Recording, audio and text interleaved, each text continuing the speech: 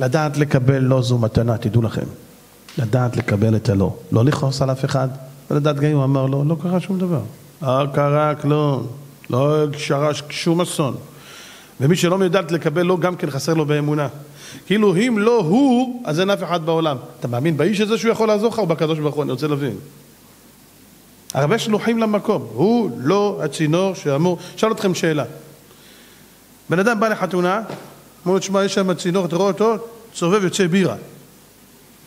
זה בירה מהחבית.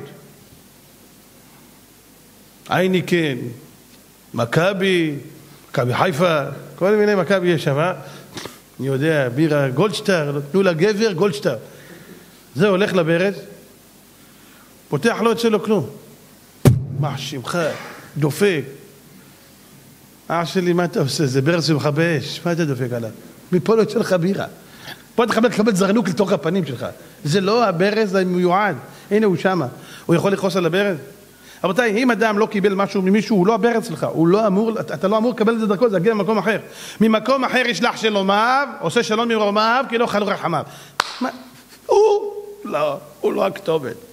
אם הוא לא ייתן, מישהו אחר ייתן. אם הוא לא ייתן, הוא לא הכתובת. זה לא הוא, אין לו זכות לתת לך. אם מישהו היכה אותך, בהפך גם, מישהו עשה לך משהו, זה לא הוא. אם לא הוא היה עושה לך, זה מישהו אחר היה עושה את זה. זה משנה לך מי עשה את זה. זה לא משנה. אתה היית צריך לחטוף את הבומבה הזאת. את הבומבה הזאת היית צריך לחטוף. השאלה רק מי יהיה אותו אחד שלקח את הפרויקט הזה בשמיים. הוא מגלגלים חובה על ידי חייו וזכות על ידי זכאי. שאלה מי? על מי אתה כועס? רבותיי, אם חיים באמונה, הכל, הכל זז הצידה. כל השטויות זזים, והמוח שלך כל הזמן רגוע. אתה לא עצבני על אף אחד.